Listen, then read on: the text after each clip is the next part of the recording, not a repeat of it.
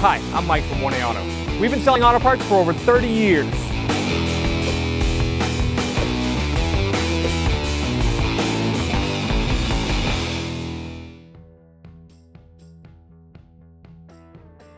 One way to pull this cover off, you're gonna push right here. You take a little screwdriver right here, pry down, right like that. Pry it out, turn the lights off again, just push that little button. Right now we're gonna pull this side off. We're gonna push, use our straight blade screwdriver. Just pry this down. Be careful not to break it.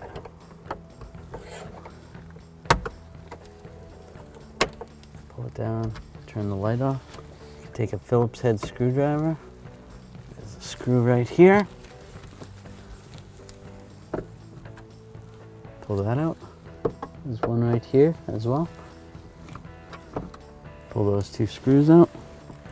Pull this down like that. There's two 8 millimeter bolts right here. One here, I'm going to use an 8 millimeter socket, an extension, and a ratchet. Take these out. Take that one out, and we'll take this one out.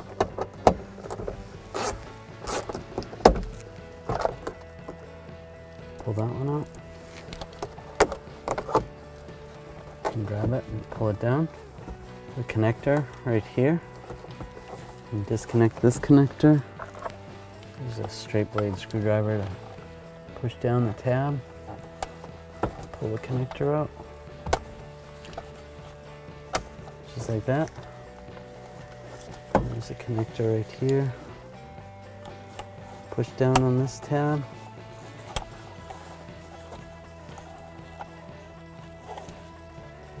Push it out.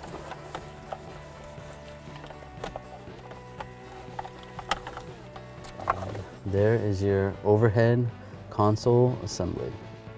Right, to separate this piece from the outer piece, I'm going to use a straight blade screwdriver and these little tabs right here under here. And then I'll take this off. And then to get this piece off, there's a little tab right here. Use the same screwdriver. Push that while you're pulling up on the switch. And then that comes up. Do the same with this back side.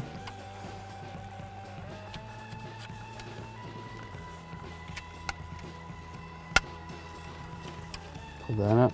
And then same with this one. To get these switches out of this trim piece, take a 90 degree pick. I'm going to get under here gently. Go back and forth. Just rotate the pick. Should be able to get that off. And we'll get this switch off the same way. Just pull it out, just like that.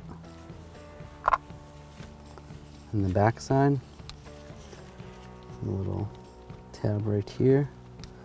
While I'm pushing the switch from the front side, release that tab, and release this tab, this tab, and then over here, release this tab. And out comes the switch.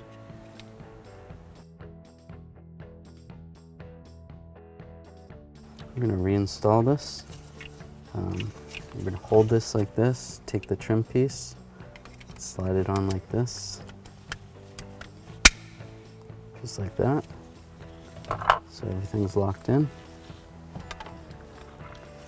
And I can take this little switch and the button, and then we'll just push it down so it locks in.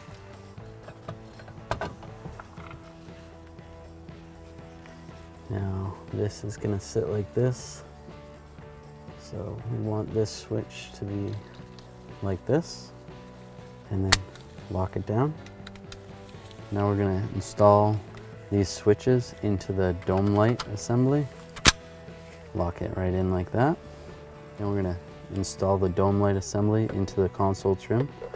Just line it up like that. And lock it in, just like that. And we can connect the connector. This connector goes in here.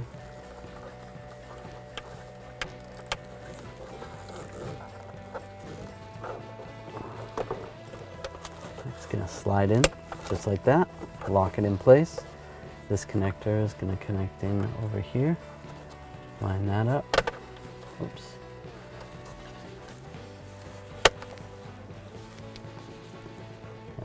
Push the connector down. We can slide this right back up here. Take this 8 millimeter bolt.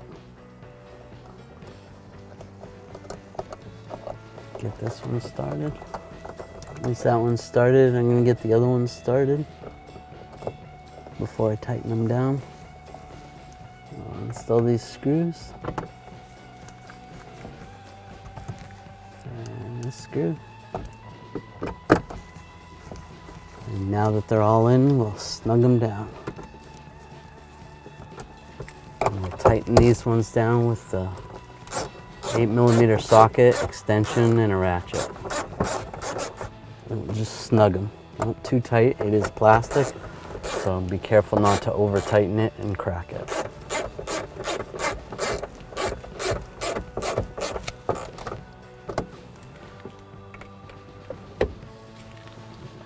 Install this cover. Just like that. Now we're going to install this cover. Slide this side in first and then lock in the back side. Thanks for watching. Visit us at 1aauto.com for quality auto parts, fast and free shipping, and the best customer service in the industry.